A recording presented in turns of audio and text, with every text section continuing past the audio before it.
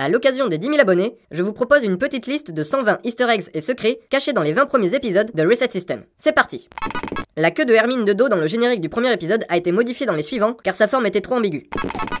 Le code ami indiqué est celui de Koshi Prism River. Cette image fait référence à une pub japonaise pour Mario Kart DS. Le fond fait référence à Super Mario Bros 3 avec la phrase Just what I needed que dit Mario à chaque fois qu'il obtient un item. La Game Boy possède plusieurs secrets. Reset System avec la typo du logo Game Boy et le JTM à la place du TM, mais également LOL Matrix with Agent Smith à la place du texte original Dot Matrix with Stereo Sound. Et le jeu à l'écran correspond au fan game Super Smash Land. La marque du portable parodie Nokia et fait référence à Chuck Norris. L'ordinateur, élément récurrent des vidéos, est de la marque Samus pour parodier Samsung. Il s'agit de Fabienne Guerrero, une femme chrétienne ayant fait une vidéo condamnant Pokémon pour ses influences satanistes. Pour l'icône du pape, il s'agit d'une miniature de PewDiePie. Les initiales de Ilian Rupiloid forment IRL. Le sol et le mur sont des textures issues d'Animal Crossing que j'ai ensuite modifiées, et le nuage a la même forme que ceux de Super Mario Bros. Il s'agit des fragments du bonheur de Zelda Minish Cap. Le logo YouTube parodie le logo YouTube. Faute d'avoir trouvé la map à télécharger, le décor Minecraft a été refait bloc par bloc à partir de la vidéo modèle. Le principal oubli est de ne pas avoir activé la nuit. Amazon fait référence à un point and click sorti en 1999 et parodie Amazon. Il s'agit d'une parodie de l'intro de Smosh. Et là, c'est une parodie du générique de la série américaine The Office. Le fanart fait référence à Dr. Wu pour Dr. Mario. Les mi des employés représentent tous la personne qui les double, sauf le mi de Hideki Kono, producteur de Mario Kart, et celui de Michael Kelbot, PDG de Retro Studios. La petite phrase DSception fait référence au fait qu'Armin joue à la 3DS dans un écran de Nintendo DS. La pétition avait réellement été créée à l'époque de la sortie de la vidéo. Ce passage est un clin d'œil aux vidéos de Monsieur Plouf. Le logo d'Activision possède le triangle des Illuminati. Le panneau sur Moïse fait référence à l'incident de la Paris Games Week de 2013. Il s'agit des rires de la pub LCL de Gad Elmaleh. Les images sur Smash Bros Universe font référence aux foliques qui circulaient sur internet. L'ambiance de Décigle et des jeux fait référence au quiz du Twomp dans Paper Mario 2, la porte millénaire. Hermine a le visage de Doge quand il y a le sigle WoW, en référence au même.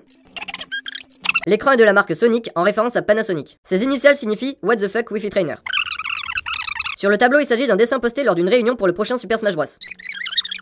Kakashi fait référence à Baptiste de Batégaël avec le fameux Ça marche bien La drogue Nintendo existe réellement et a été localisée en Belgique. La date du faux message de Hideo Kojima sur le Miiverse correspond à l'annonce de Super Smash Bros. Brawl. Il s'agit évidemment d'une parodie de l'intro de Mega Man 2. Le crayon porte l'inscription Physics en référence au jeu Crayon Physics. Il s'agit d'une référence à Slender. Le visage sur le billet YouTube Money correspond à celui de Chad Hurley, l'un des fondateurs de YouTube. Lara Lumen est une parodie de Rémi Loradi avec Noruda himself en guest.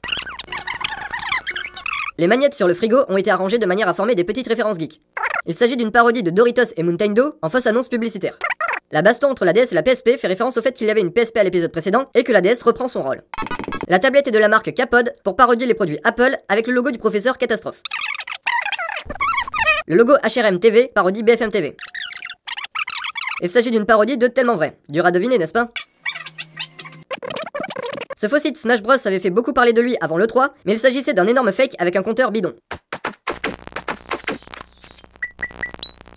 Le titre fait référence au DLC Capcom annoncé à l'E3 2014 avec une typo similaire à l'original pour chaque mot. Le 5 plus 5 égale 10 fait référence à une vidéo d'Antoine Daniel. Traumassimo est une parodie de Doctissimo et du logo Trauma Center. Dans l'épisode 8, il y a une référence aux épisodes 2, 4 et 6. Il s'agit de la machine pour sauvegarder dans Metroid et la scientifique et Emma Sky de Ace Attorney. Cette image parodie les couvertures des anciens magazines de Tips. Les titres de la vidéo ont la même typo que les niveaux des premiers Sonic. It's no use est la phrase du méchant Silver dans Sonic 2006 qui peut faire léviter les objets. Il y a des symboles toxiques sur la jaquette. On voit apparaître furtivement l'avatar de Mad Bob, let's player québécois. Le tonneau qui tombe fait référence à l'épisode de Red Barrel sur les doubles sauts de Pseudoless. Je suis très belle dans mon salon est une référence à la vidéaste belge Morgane ne comprend pas.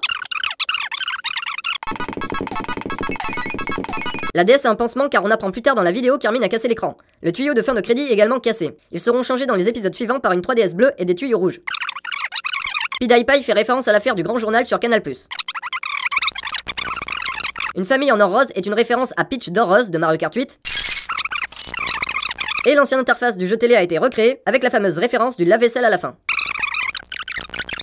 Les cartouches Mr. Flash et Hermine font référence aux cartouches de Link's Awakening et Pokémon John. Il a également écrit Reset System avec la typo de Game Boy Color. Le tableau est celui de Yoshi's Island.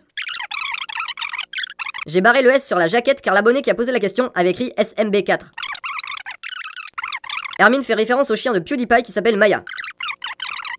Il s'agit des chiffres des top 6 de Punky. Pour l'anecdote, lorsque j'étais allé voir le stand de Voxmaker à la Japan Expo de 2014, Cyrix avait cru lire sur mon t-shirt Nyan Hermit au lieu de Nyan Hermine. Hermine fait référence ici à la cartouche DS de Bienvenue chez dont j'ai parlé à l'épisode 4. Le shampoing Grenier parodie la marque Garnier et fait référence au JDG, et le parfum Medior est un mélange entre Médor et Dior. Quand j'ai demandé sur Twitter qui voulait passer dans le prochain Reset System, GPM a été le premier à répondre, du coup, voilà son apparition. Sur le panneau danger électrique, il y a le symbole de l'énergie électrique en carte Pokémon. En fond, on peut voir un décor du premier Castlevania. On peut voir Pyro de Team Fortress sur les boîtes d'allumettes, et il y a un briquet Game Boy. De plus, le cadre des vignettes fait référence à Resident Evil. La collection Parsec est une parodie des collections Altaïa, Parsec étant le studio qui a créé le jeu Slender. On peut voir sur la canette une petite étiquette, ce qui donne Fanta et Bob. La mention du chasseur de fantômes fait référence à un épisode de Gus DX dans lequel il enroule une radio dans du papier aluminium. Hermine porte un t-shirt Gilles Asperger en guise de réponse à l'épisode où Gilles porte un t-shirt Hermine. Cooking Nana est une fusion entre Cooking Mama et Nana des Ice Climbers. RS parodie l'écran titre du jeu SCP. La marque Icarus parodie la marque de micro Olympus en référence à Kid Icarus. Ici, il a une référence à Tim de Braid car la princesse du jeu semble être une métaphore de la bombe nucléaire selon une fin cachée. Il s'agit de l'araignée Skitter de la saga Donkey Kong Country. Petite référence à l'épisode d'Adventure Time où le roi des glaces fait une collection de princesses. Le logo Mario Kart TV a été détourné à l'occasion en Mushroom Kingdom TV. Il s'agit d'une parodie du générique de Game Theory. Lorsque le sac de sable est envoyé dans les airs, on entend le cri de Faye en référence au fait qu'elle s'était cachée dedans en début d'épisode. Le logo Oncle Ernest parodie celui de Doctor Who. La mention du carton magique est une référence à la boîte magique de Voxmaker, sauf que la vidéo bonus n'existe pas et renvoie vers une vidéo de fausse pub pour Orangino. Le cahier des charges possède des charges électriques sur sa couverture et le logo Altair, en référence à Assassin's Creed, parodie la marque de cahier Oxford. A Few Moments Later est une référence au dessin animé Bob l'éponge. Pour la quatrième épreuve, ne sachant pas quoi marquer, j'écris risotto. Le yé que l'on entend est le cri de victoire de Rayman dans son tout premier jeu. Il y a quelques images rigolotes dans cet épisode, comme Mario Kart Quit ou Mario Kart Non, en opposition à Mario Kart Oui, avec l'image du Mario qui dit non dans le jeu Hotel Mario. On peut voir la tête de Monsieur Kono sur le même. Ce passage fait référence à l'épisode 3 sur Mario Kart 7, où l'équipe semble être devenue complètement zinzin. Il s'agit d'une petite référence à la drogue Nintendo dont j'ai parlé dans l'épisode 5. L'image Mario Kart Corruption est une référence au tableau de Michel-Ange, et le logo Corruption est celui de Metroid Prime. L'épisode de Doctor Who dont il est question est l'épisode 3 de la saison 3, l'embouteillage sans fin. L'exagération face au pneu shiny fait référence à toutes les vidéos de joueurs complètement fous en tombant sur un Pokémon shiny.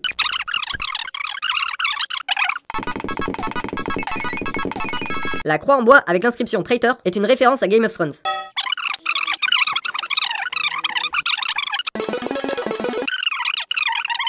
Top 3 est une petite référence à Top 10 et le podium est celui de son générique. Le scientifique de gauche est couvert de la peinture bleue qui permet de rebondir, et le scientifique avec une tête de menthe religieuse fait référence au passage dans Portal 2, dans lequel Kev Johnson dit avoir incorporé de l'ADN de menthe religieuse dans les sujets de test. Cette image est une fusion entre Dr House et Gordon Freeman. Le logo Post BD fait référence à Post Manga de Mr. Enzor. L'image 3 théories sur Portal est une référence aux vidéos 5 théories de Didi Chandouidoui.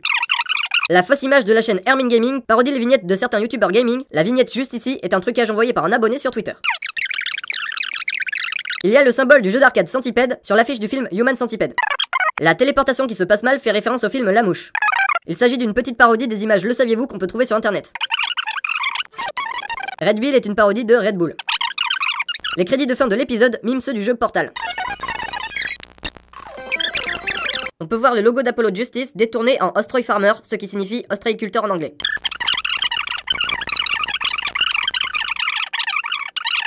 Le breakdown de Capcom commence avec un Hadoken de Ryu dans Street Fighter, et le personnage explose comme dans les jeux Megaman. Il s'agit d'une référence au drama japonais Liar Game. le générique de l'épisode anniversaire comporte l'icône des vignettes de chacun des 19 épisodes précédents, avec en plus l'enveloppe du courrier du cœur et le boulet de Wrecking Games. Il s'agit de la table des trophées dans Super Smash Bros. for Wii U. Étant donné que j'ai changé de PC, le nouveau logo de l'ordi est Sims pour parodier la marque MSI. On peut furtivement voir un fort NX en guise de petit troll. La phrase sur la chronique non exhaustive fait référence à la chronique Le fond de l'affaire de Maxime Robinet. Et voilà pour les 120 easter eggs et secrets de Reset System. En vérité, il en reste encore quelques-uns que je n'ai pas pu lister dans cette vidéo, mais je compte sur vous pour être attentif dans les prochains épisodes. Et évidemment, merci à tous d'être plus de 10 000 à suivre mes vidéos. A bientôt